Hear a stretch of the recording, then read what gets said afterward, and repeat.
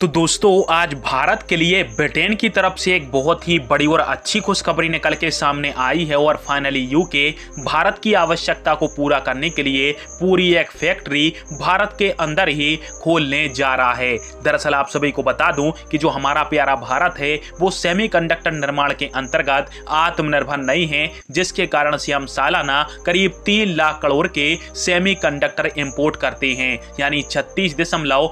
Billion dollar के अकेले semi conductor हम हर साल इम्पोर्ट करते हैं विदेशों से और भारत की इस आवश्यकता को पूरा करने के लिए फाइनली यूके सबसे पहले मैदान में आया है और ब्रिटेन की company S RAM M RAM technology India private limited की तरफ़ से भारत के उड़ीसा के अंदर एक सेमीकंडक्टर मैन्युफैक्चरिंग का जो प्लांट है, वो लगाया जाना है और इसके लिए यूके भारत के अंदर करीब दो लाख करोड़ का निवेश करेगा। यानी ब्रिटेन कुल मिलाकर 16 बिलियन डॉलर का निवेश भारत के अंदर करने जा रहा है, जो कि 2027 तक कंप्लीट होगा, परंतु शुरुआती तीस हज़ार करोड़ का जो निवेश है, वो अभी उड़ीसा के अंतर्गत करा जाना है, जिसमें 800 करोड़ के अंतर्गत ब्रिटेन की यह कंपनी भारत के अंदर सेमीकंडक्टर का एक प्लांट डालेगी, जिसके तहत भारत के 5000 लोगों को प्रत्यक्ष रोज़गार मिलेगा। साथ में भारत की मेक इन इंडिया के तहत चिप मैन्युफैक्चरिंग भी स्टार्ट हो पाएगी, और इसके लिए ब्रिटेन की कंपनी ने भारत की उड़ीसा स्टेट